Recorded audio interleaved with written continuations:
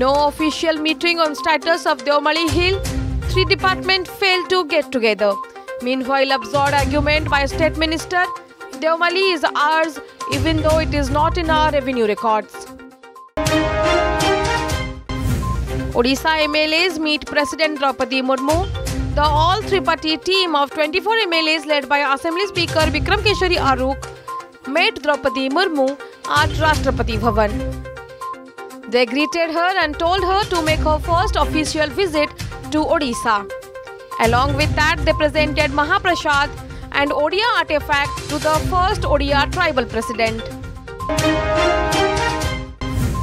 Initiative to check dropout rate in Odisha.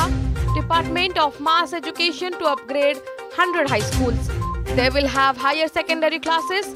It will be done in blocks that do not have plus two colleges.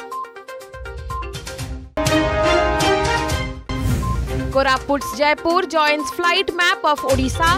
First trial flight from Bhubaneswar to Jeypore today. Plane with 8 passengers landed in Jeypore at 11:30 am. One India Aviation Company starts the passenger flight service. Mother and son got trapped in overflowing river. Chilling visuals from Rayagada's Punjapai village. Trapped duo safely rescued by villagers after 3 hours.